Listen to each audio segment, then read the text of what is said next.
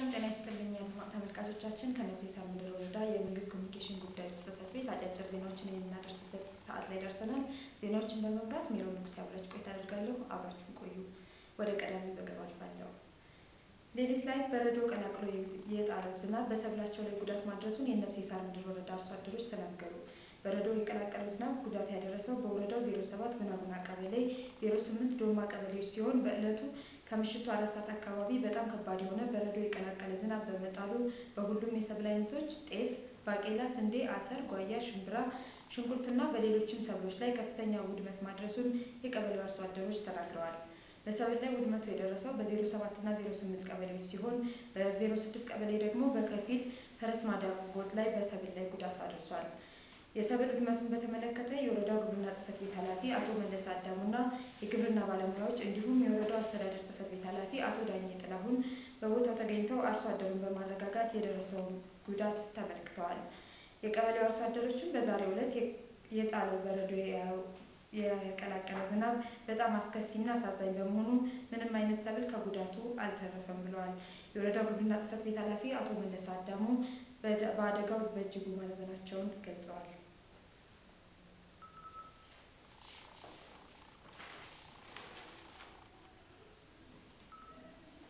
የነፍሴ ሳር ምድር ወረዳ ሴቶችና ህጻናት ማህበራዊ ጉዳይ ጽሕፈት ቤት የ2015 እቅድ ትውውቅና በሀገራችን ለሰላሳ አንደኛ ጊዜ የሚከበረውን የአረጋውያን ቀን አረጋውያን የኢትዮጵያዊነት አሻራ ለትውልድ አደራ በሚል መሪ ቃል አክብሯል። በመክፈቻው ላይ የጽሕፈት ቤቱ ኃላፊ ወይዘሮ ካሳነሽ አዳሙ ጽሕፈት ቤቱ ባለፉት ዓመታት በርካታ ተግባራትን ሲያከናውን እንደቆየ ገልጸው በዚህ በጀት ዓመትም ሴቶች፣ ህጻናት፣ አረጋውያንና አካል ጉዳተኞችን ተጠቃሚ የሚያደርጉና ተሳትፎን የሚያሳድጉ ተግባራት ላይ ትኩረት አድርጎ እንደሚሰራ ገልጸዋል። የጽሕፈት ቤቱ የእቅድ ባለሙያ አቶ ተስፋው ጌትነት ጽሕፈት ቤቱ በ2015 በጀት ዓመት ሊሰራቸው ያቀዳቸውን ተግባራት አስመልክቶ ለተሳታፊዎች ገለጻ አድርገዋል። ጽሕፈት ቤቱ የሴቶች ህጻናትና አረጋውያንን መብት እና ደህንነት ማስጠበቅ ላይ ትኩረት አድርጎ እንደሚሰራ የገለጹት አቶ ተስፋው በበጀት ዓመቱ ሴቶች ለመብታቸው ተሟጋች እንዲሆኑ፣ አረጋውያን መብታቸው እንዲጠበቅና በሌሎች ጎጂ ልማዳዊ ድርጊቶች ዙሪያ በርካታ የግንዛቤ ፈጠራ ስራዎች ሲሰሩ እንደቆዩና በቀጣይም የትኩረት አቅጣጫ እንደሚሆኑ አመላክተዋል። የመብት ጥሰት ለደረሰባቸው ህጻናትና አረጋውያን አካል ጉዳተኞች ድጋፍ ማድረግ፣ ህጻናት ወሳኝ ኩነት ምዝገባ እንዲመዘገቡ ማስቻል፣ በጎልማሶች ትምህርት የሴቶችን ተሳትፎ ማሳደግ፣ የልጃገረዶች ክበብን ማጠናከር፣ ሴቶችና አካል ጉዳተኞች የትምህርት የጤናና የሌሎች ማህበራዊ አገልግሎቶች ተጠቃሚ እንዲሆኑ ማድረግ እንዲሁም አካል ጉዳተኞች በተለያዩ የኪነ ጥበብና ስፖርት ዘርፎች ተሳታፊ እንዲሆኑ ማድረግ እና ሌሎች ጽሕፈት ቤቶቹ እሰራቸዋለሁ ብለው ካቀዳቸው ተግባራት መካከል የተጠቀሱ መሆናቸውን ከስፍራው ሰምተናል። ተሳታፊዎቹ በበኩላቸው እንደ ተቋም በእቅድ የተቀመጡ ተግባራት የሚያሰሩ መሆናቸውን ገልጸው እንደ ተቋም ማሻሻያ ሊደረግባቸው ያሏቸውን ሀሳቦች አንስተዋል። በመድረኩ ጥሪ የተደረገላቸው የቀበሌ ስራ አስኪያጆች፣ ባለሙያዎች፣ የወረዳው የመንግስት የስራ ኃላፊዎች እንዲሁም አረጋውያን ተሳታፊ ሆነዋል።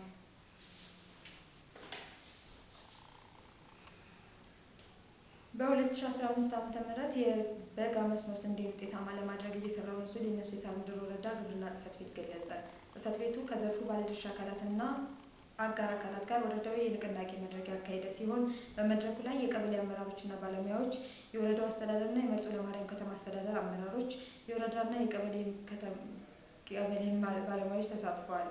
ለመድረኩ መነሻ ይሆን ዘንድ የመወያያ ጽሑፍ ያቀረቡት የጽሕፈት ቤቱ የመስኖ ልማት የስራ ቡድን መሪ አቶ አለማየሁ ደምሴ በተያዘው 2015 በጀት ዓመት 566 ሄክታር መሬት በበጋ መስኖ ስንዴ ለመሸፈን ታቅዶ እየተሰራ መሆኑን ገልጸው በወረዳው 25 ቀበሌዎች የበጋ መስኖ ስንዴ የተለዩና ወደ ተግባር ለመግባት የቅድመ ዝግጅት ስራ እያደረጉ ያሉ ቀበሌዎች መሆናቸውን ገልጸዋል።